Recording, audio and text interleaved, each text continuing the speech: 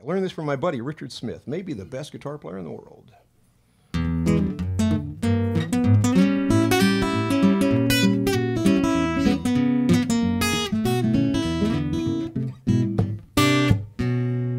Well, now, Elma Turl, she's a beautiful girl, and I'd love to have her for my wife.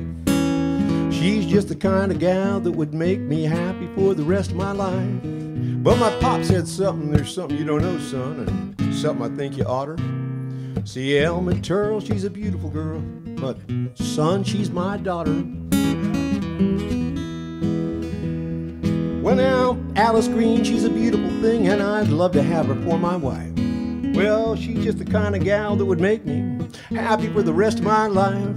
But my dad said something there, son, you don't know. Something I think you oughter. Well, Alice Green, she's a beautiful thing, but son, she's my daughter.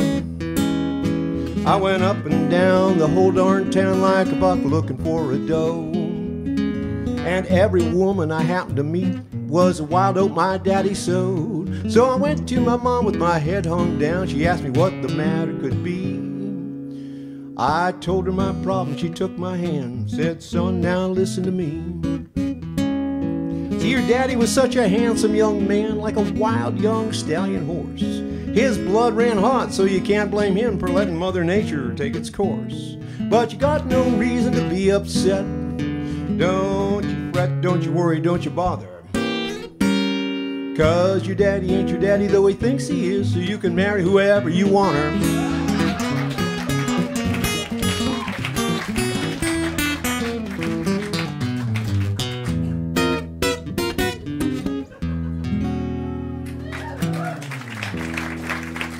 That, that, that's all, folks. Next rider, saddle up.